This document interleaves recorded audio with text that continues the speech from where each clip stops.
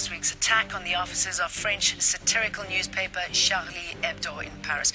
The group praised the attackers who killed 12 people, calling it an act of vengeance in response to the cartoons of the Prophet Muhammad. It says the attack was ordered by Al Qaeda chief Ayman al Zawahiri. Arab Tov, I'm Stephen Ben. You are watching Israeli News Live. An Al Qaeda leader has actually came out and stated uh, that they are responsible for the attack on the Charlie Hebdo uh, news uh, magazine or organization there in Paris, France. There, this is being reported on Al Jazeera. Uh, he actually released this video publicly on uh, the internet today making this claim here. Uh, the Al Qaeda in Yemen claims Charlie Hebdo attack is, is, in the Al Jazeera reports as a top leader of Yemen's Al Qaeda branch has claimed responsibility for last week's attack on Paris uh, on the Paris magazine Charlie Hebdo when uh, two masked gunmen killed 12 people, including much of the weekly's editorial staff and two police officers. Nasser al Ansi, a top commander of Al Qaeda in the Arabian Peninsula, uh, uh, or AQAP, in the branch is known, appeared in an 11 minute video posted online on Wednesday saying that the massacre at the Charlie Hebdo was a vengeance for the Prophet. Um, the, the, another thing that was very interesting in the, of course, you see the video clip playing in the background. This is the actual uh, news from Al Qaeda, uh, Al Jazeera, excuse me, Al Jazeera's news broadcast. The reporter there in Yemen uh, stating that this was one of the top operatives uh, of Osama bin Laden. That he had been sent on a number of campaigns uh, throughout different places, including Afghanistan, also in the uh, um, in the Middle East doing carrying out different attacks according to Osama bin Laden's request there. He also stated that there's been a number of drone strikes uh, by the West uh, that has killed many of the top uh, officials of the Al Qaeda group, but the Al Qaeda group is still very powerful, as he puts it, and still moving forward. Uh, they also stated in the article here, we, um, excuse me, this was from, uh, from uh, Al Ansi. Al Nasser Ansi says that um, we, Al Qaeda in the Arabian Peninsula, claim responsibility for this operation as vengeance for the messenger of Allah. Ansi said in the video entitled Messenger regarded the blessed Battle of Paris. Speaking over footage of the attack that killed 12 people, Ansi said, Today, the Mahadin avenge their reverend prof, revered prophet and send the clearest message to everyone who would dare to attack Islam's sanctities.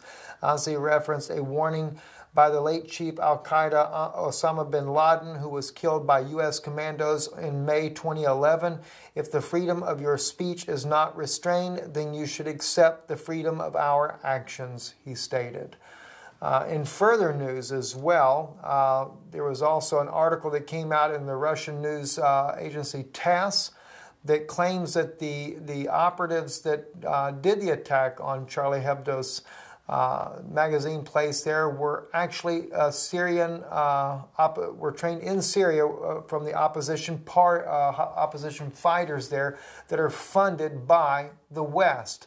Um, now keep this in mind when we bring this out here. What's interesting in this is that it is almost a war on words uh, dealing with all the tensions over Ukraine. Very, very obvious about this. Uh, TASS uh, says here Russian Foreign Minister Sergei uh, Lavrov said Monday that Last Wednesday's attack on the French uh, satirical magazine was committed by militants who had fought in Syria for the West backed aimed ousting Syria, Syrian President Bashar al Assad from power. Cooperation with the West on the counterterrorism has been suspended. Meanwhile, terrorists do not suspend cooperation with each other. Terrorist activity knows no bounds Lavrov said the two brothers who attacked the editorial office of the Paris magazine had mastered the art of terror in Syria, fighting with those who had been trying to oust Bashar al Assad, an aim supported by Western counterparts, he added. Like I said there, it's, it's very much a war on words there, uh, one accusing the other as time moves on. In, in, in another interesting twist there, Russia is also uh, just put into service one of their submarines into the Black Sea and has plans to build six more by 2016 that will be commissioned also to uh, defend the homeland in the Black Sea area there. Uh, and the war world wars has not stopped even there. In Israel, uh, Prime Minister Netanyahu uh, battles against uh, the Turkish uh, Prime Minister.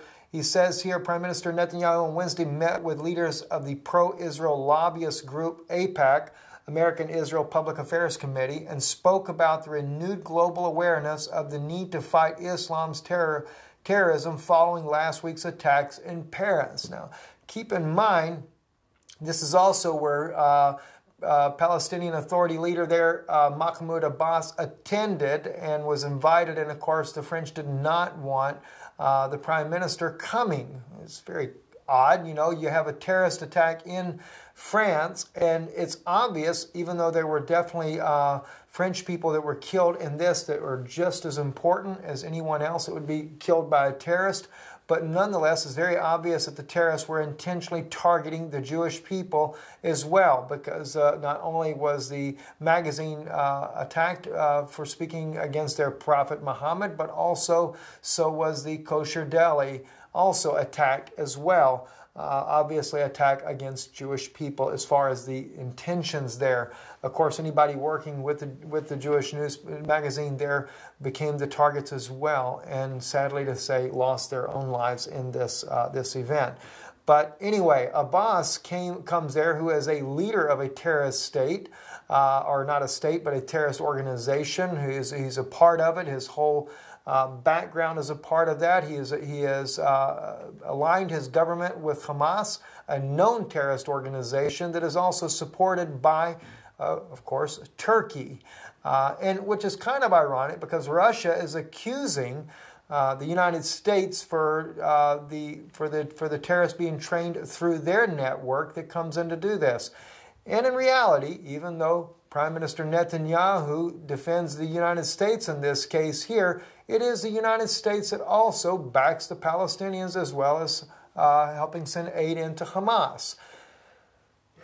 It is nothing but a mess if you really want to look at the truth of it all. It is a mess in everywhere, every way you look. But on back with the article from Israel National News says, I think the war against terror will not succeed if it's founded on hypocrisy, stated Netanyahu. I have yet to hear any word, uh, world leader condemn the comments by Turkish President uh, Recep uh, Tayyip uh, me, Erdogan not one, said Netanyahu. Netanyahu took part in a march with world leaders against terrorism in Paris on Sunday, where Turkish Prime Minister uh, Ahmet uh, Davutoglu was also present. At a news conference in Ankara on Monday with Palestinian Authority uh, Chairman Mahmoud Abbas, Erdogan said he could hardly understand how that, how that Netanyahu dared to go to the march. He demanded Netanyahu give an account for the children, women you massacred, he states, quote unquote, accusing him of state terrorism. Uh, the statements are ironic given that Turkey is a main financial supporter of Hamas terrorism organization. Abbas, who took part in the march, is the head of the Palestinian Liberation Organization, the PLO terrorist organization as well, just as clearly what we had stated here. Uh, responding to Erdogan, Netanyahu stated he said that Israel should not have been represented in the march in Paris, and the reason he gave was our action to defend our citizens against the thousands of rockets hurled at our cities by the terrorists of Hamas. I believe his shameful remarks must be repudiated by the international community because the war against terror will only succeed if it's guided by moral clarity, said Netanyahu. That means that the terrorists and their supporters must be condemned, and those fighting terror, as he states, like Israel and the United States, must be supported. It is as simple as that.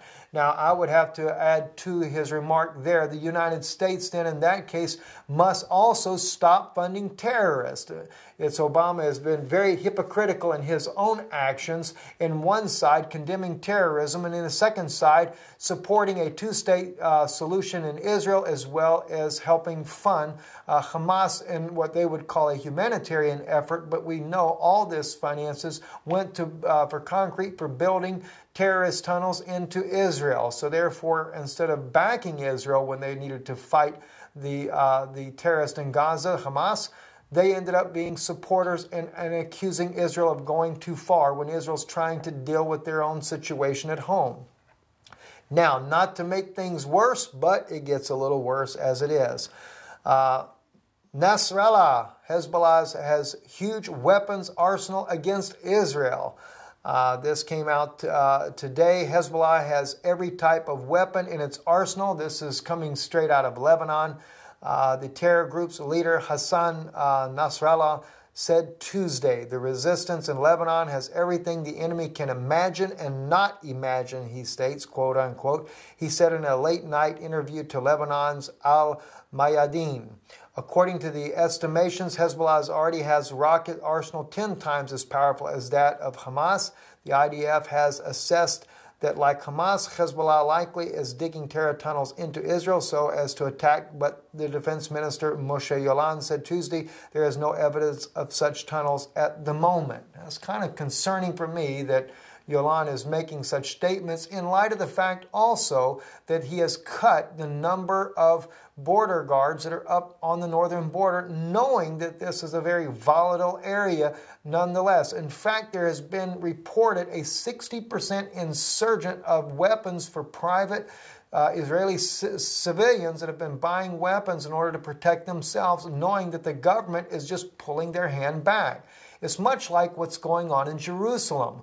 Very same thing there. The police are told to stand down while the Arab attackers come in and just mutilate civilians as if it's nothing. It's only the last minute or the last second before any intervention is actually done. Is this the same type of action that will be taken on Israel's northern border against Lebanon? What is the purpose for this? And why isn't Israel standing up to the enemies that are around her? It's quite obvious, seeing the whole world is coming against Israel, that only God Himself will make that stand for Israel. And this is that very hour that God will have to stand for her as the world comes against her. I'm Stephen Ben Danoon with Israeli News Live. If the news that you have been seeing is a blessing to you and you would like to be a part in supporting this particular news type broadcast, it is free of charge across the world. It is made available. Then you can go to our website, IsraeliNewsLive.org, and you can contribute there on a link that is provided. We thank you, and the God of Israel bless you.